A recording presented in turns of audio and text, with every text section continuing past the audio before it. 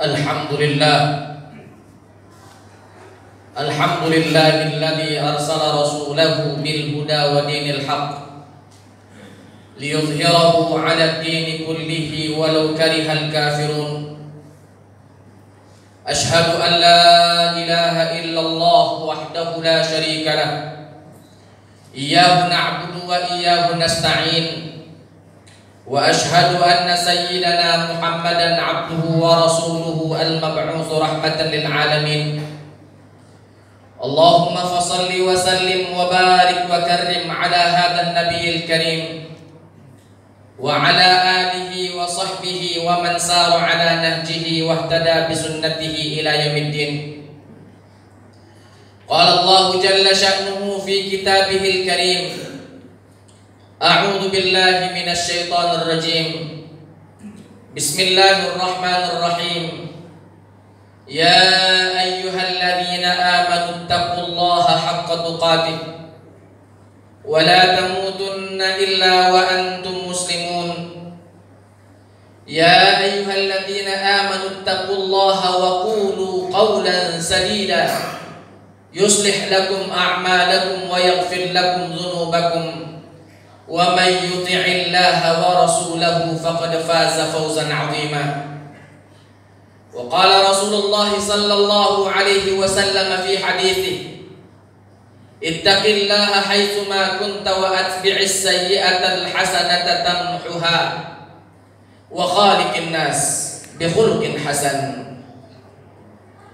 معاشر الحاضرين jamaah salat Jumat yang dimuliakan oleh Allah Subhanahu wa taala. Di hari yang mulia ini marilah senantiasa kita memuja dan memuji Allah Subhanahu wa taala atas segala curahan nikmat yang telah Allah berikan kepada kita.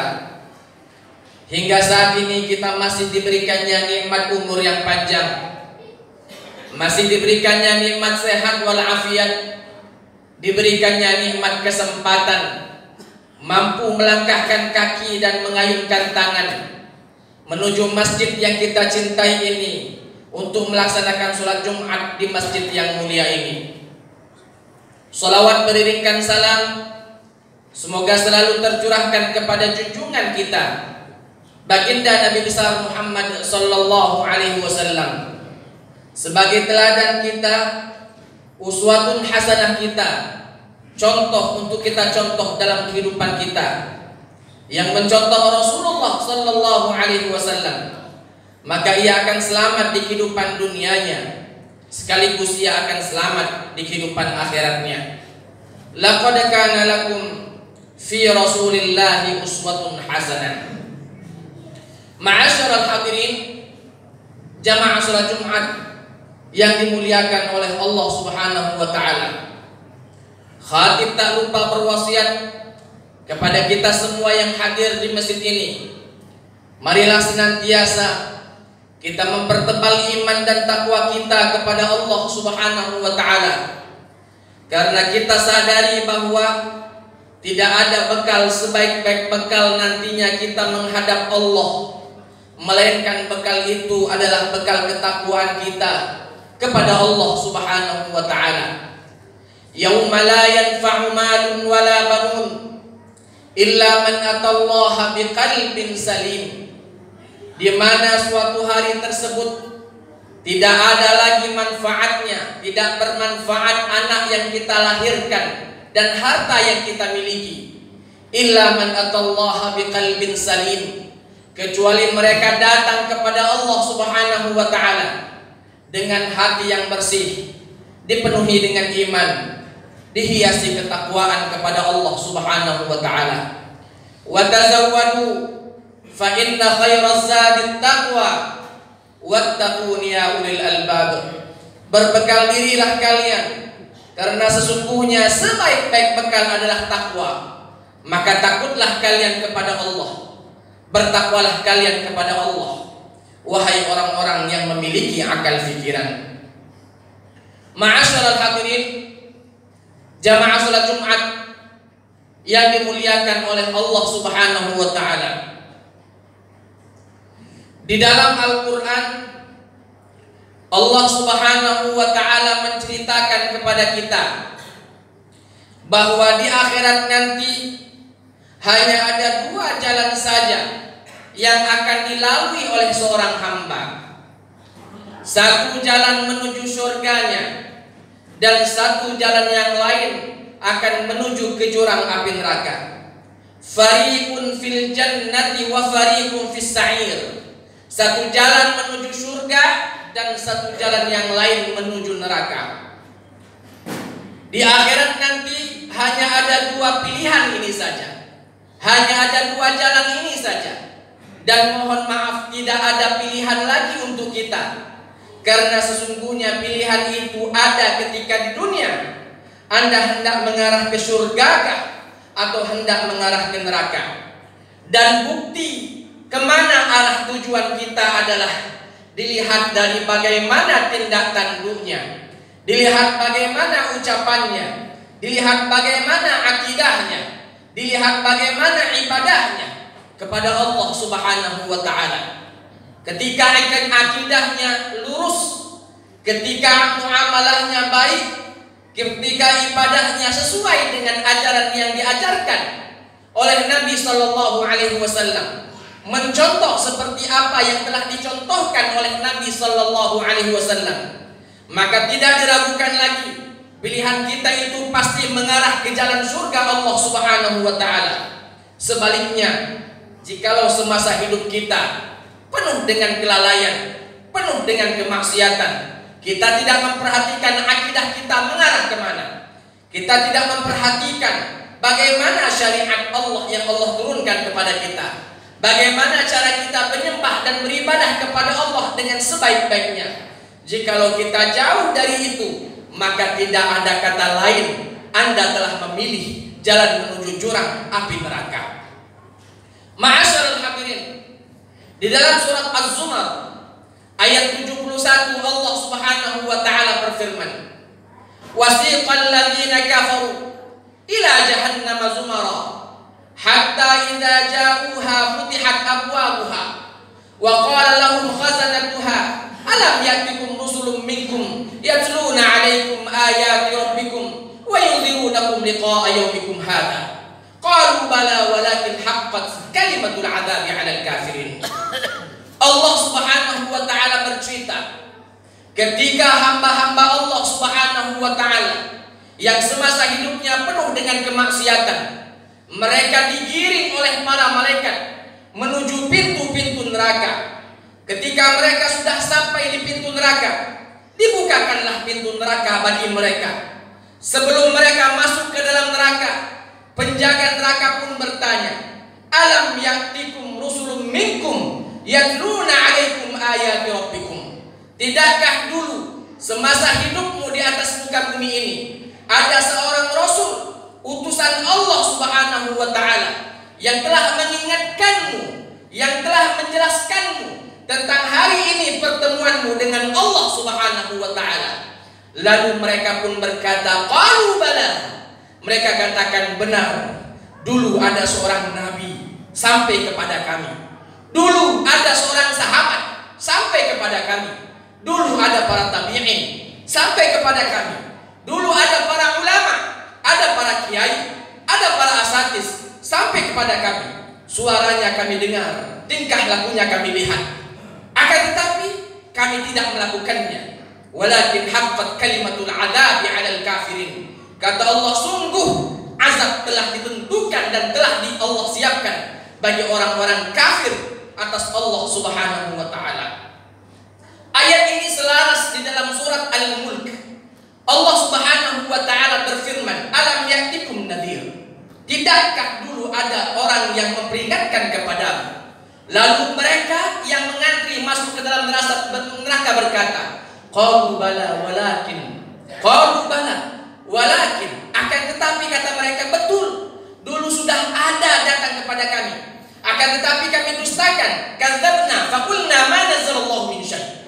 Kami katakan sungguh mereka dusta kami dustakan mereka. Bahkan kami katakan apa yang diajarkan tidak pernah Allah Subhanahu wa taala turunkan kepada kita. Bahkan kami mengatakan bahwa in antum illa fi dhalalin kabir. Sungguh kalian wahai para utusan Allah dalam kesesatan yang nyata. Ma'asyiral hadirin, jamaah salat Jumat yang dimuliakan oleh Allah Subhanahu wa taala. Ketika kita mengerti dan memahami bahwa semua tindakan, ucapan, tingkah laku yang kita lakukan akan diberikan sanksi, akan diberikan balasannya. Balasan baik bagi amalan yang baik, balasan buruk bagi amalan yang buruk. Maka tidak ada kata lain yang semestinya kita ucapkan kecuali kata-kata itu kata-kata baik dan kata-kata kebajikan. Ketika kita tahu bahwa semua tindak tanduk yang kita lakukan akan dilihat dan dinilai oleh Allah Subhanahu wa. Seharusnya tiada tiada ucapan, tiada tiada ungkapan, tiada amalan kecuali amalan itu amalan baik karena kita yakini akan diberikan pahala dari apa yang kita lakukan. Ma'asyiral hadirin. 1454 tahun yang lalu 1454 tahun yang lalu ada seorang nabi utusan Allah Subhanahu wa taala sebagai basyiran wa nadhiran sebagai pemberi kabar gembira sekaligus sebagai pemberi kabar jahat kepada mereka yang tak mau taat kepada Allah Subhanahu wa taala. 1454 tahun yang lalu ada seorang nabi mengikrarkan bahwa apabila kalian tidak beriman kepadaku maka api neraka lah yang akan melahap kita semuanya. Maka tidak ada kata lain mesti dan wajib kita ikuti seorang nabi ini. Ia bernama Abdullah. Ia bernama Muhammad bin Abdullah. Ia bernama Muhammad bin Abdullah bin Abdul Muttalib wasallamu alaihi. Ketika Nabi itu berikrar bahwa tiada Tuhan kecuali Allah dan Nabi Muhammad utusan Allah, maka kita harus meyakininya dan bahkan kita harus mengikrarkannya. Asyhadu an la ilaha illallah wa ashadu anna Muhammad Rasulullah. Tidak benar iman kita, tidak betul akidah kita apabila kita tidak bersyahadat mengakui bahwa Allah taala Tuhan kita dan Nabi Muhammad sallallahu alaihi wasallam sebagai utusan Allah kepada kita, sebagai nabi terakhir yang Allah utus kepada kita, bukan hanya kepada orang Arab saja, bukan hanya kepada orang Mekah dan Madinah saja, tetapi untuk manusia secara umum lil jami' lin nasi ajma'in. Bahkan di dalam di dalam di dalam ayat Allah Subhanahu wa taala mengatakan rahmatan lil alamin. Sebagai rahmat untuk alam semesta. Oleh sebab itu selayaknya dan sepatutnya lah ketika pembawa berita ini kita benarkan dan kita ikuti caranya maka insya Allah kita takkan pernah mengantri masuk ke dalam neraka. Sebaliknya apabila seorang yang pemberi peringatan tersebut yang bernama Muhammad bin Abdullah mengingatkan kepada kita lalu kita enggan mengikutinya maka mohon maaf mungkin saja kita salah satu orang yang akan mengantri dan dilemparkan masuk ke dalam neraka Allah Subhanahu wa taala. Nauzubillah, summa nauzubillah.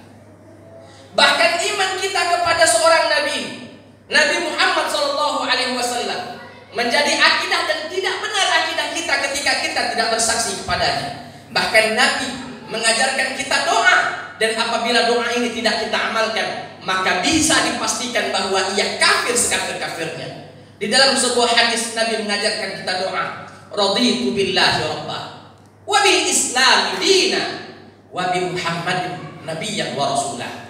Aku ridho Allah sebagai Tuhanku.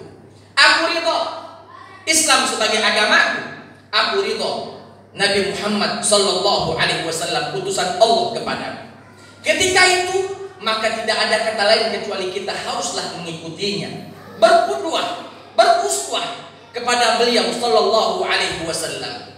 Maka amat sangat diherankan jikalau ada orang yang tidak tahu dari mana asalnya, tidak tahu bagaimana derajatnya di sisi Allah Subhanahu Wa Taala, lalu mengikrarkan bahwa ada orang yang lebih baik daripada Nabi Sallallahu Alaihi Wasallam. Kita tak tahu lagi apa yang harus kita ucapkan. Jikalau ada yang membandingkan antara Nabi dengan orang biasa. Jangankan Nabi dengan orang biasa. Nabi dengan Nabi yang lain pun sesungguhnya tak bisa untuk dibandingkan. Walaupun Allah subhanahu wa ta'ala berfirman dalam Al-Quran. Bahwa Allah ta'ala mengatakan. La nufarriku baina ahadin min rusuli. Tidaklah kami beda-bedakan antara satu nabi dengan nabi yang lain, antara rasul satu dengan rasul yang lain. Akan tetapi di dalam ayat lain Allah juga mengatakan bahwa Nabi Muhammad sallallahu alaihi wasallam sebagai utusan Allah, Sayyidul Anbiya wal Mursalin, pemimpin para nabi, pemimpin para rasul, khatamul anbiya wal mursalin, penutup para nabi dan tidak ada nabi lagi yang akan diutus kecuali Nabi Muhammad sallallahu alaihi wasallam. Setelah itu selesai. Oleh sebab itu ma'asyiral hadirin, lalu ketika Nabi Shallallahu Alaihi Wasallam telah mengikrarkan bahwa beliau adalah Nabi, utusan Allah kepada kita. Kita adalah umat beliau. Maka timbul pertanyaan, setiap kita mungkin mengakui bahwa kita umat Nabi Muhammad. Kita mengakui bahwa kita adalah pengikut Nabi Muhammad. Dan pertanyaan besar akan timbul, maukah Nabi Muhammad mengakui kita sebagai umatnya? Apabila kita hanya begini saja yang kita lakukan. Hanya begini saja ibadah kita. Hanya begini saja akidah kita. Hanya begini saja usaha kita untuk membela ajaran Allah. Hanya begini saja usaha kita untuk membela sang kekasih Nabi Muhammad sallallahu alaihi wasallam. Tidakkah di dalam pepatah Arab mengatakan innal innal muhibba liman liman yuhibbu muti'u. Sesungguhnya orang yang mencintai seseorang pastilah akan mengikuti, mentaati perintah orang yang ia cintai. Nabi Muhammad orang yang amat kita cintai. Bahkan cinta kita kepadanya melebihi daripada cinta kita kepada diri kita sendiri. Melebihi cinta kita kepada istri dan anak-anak kita, kepada harta jabatan yang kita miliki. Cinta kita kepada Rasulullah Sallallahu Alaihi Wasallam melebihi daripada cinta kita kepada selain makhluk Allah Subhanahu Wa Taala yang lainnya. Oleh sebab itu, ma'asyiral hadirin, pertanyaan itu mestinya lah kita merenung untuk menjawabnya. Maukah Nabi Muhammad mengakui kita sebagai umatnya? Jikalau Nabi Muhammad tidak mengakui kita sebagai umatnya, karena tadi amalan kita amat sangat kurang. Bahkan amalan kita tidak sesuai dengan contoh yang dicontohkan oleh Nabi.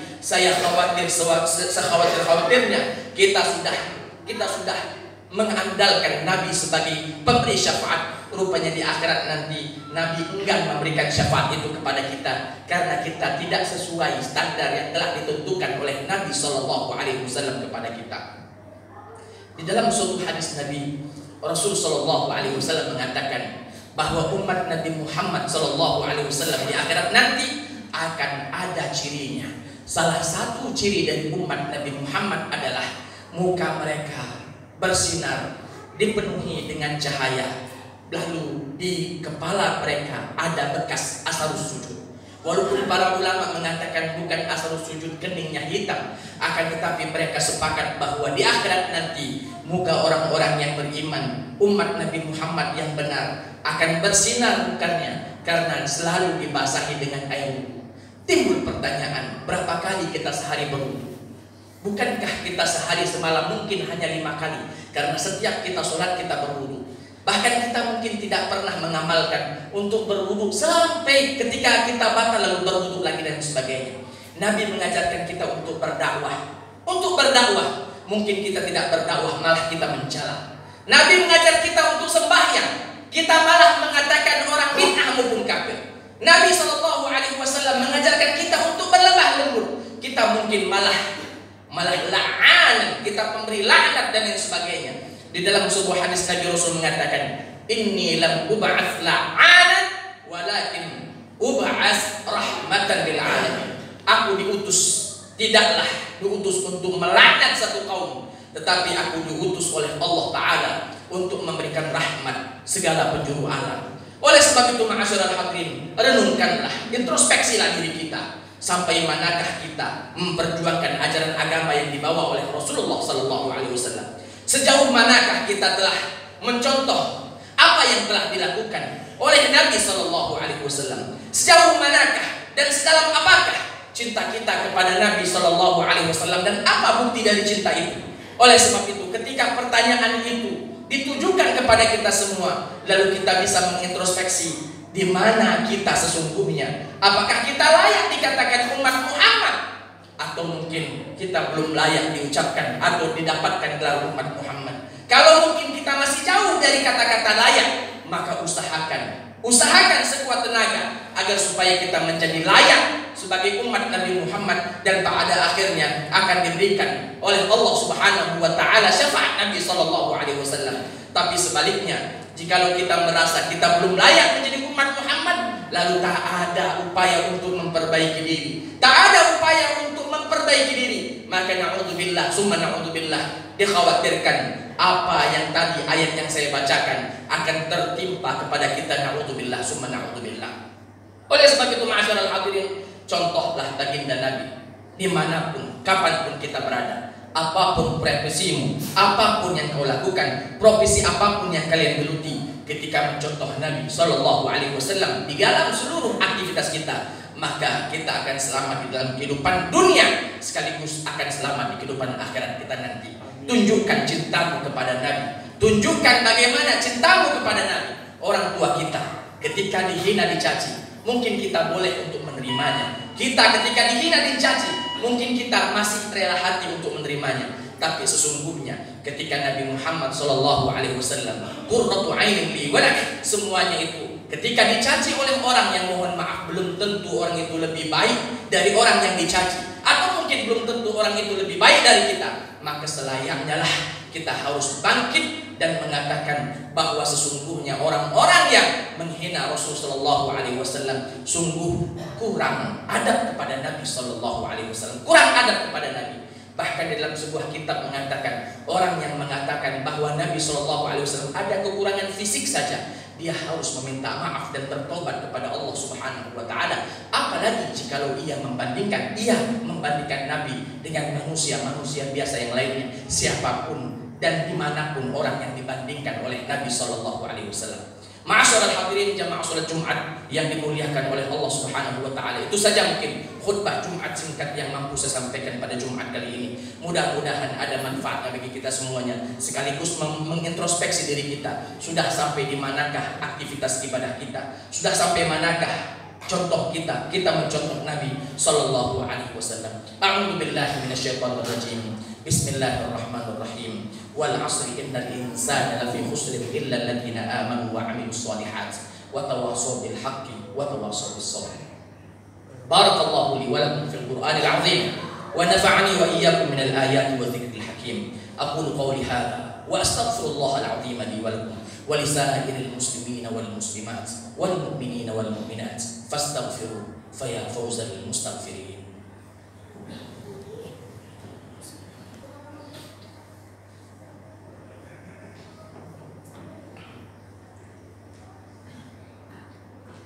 الحمد لله الحمد لله الذي هدانا لهذا وما كنا لنهتدي لولا أن هدانا الله أشهد أن لا إله إلا الله وحده لا شريك له.